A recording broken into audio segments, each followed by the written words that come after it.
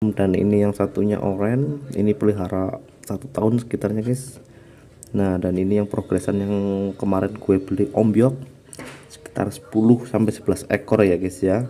Nah ini lagi gue treat.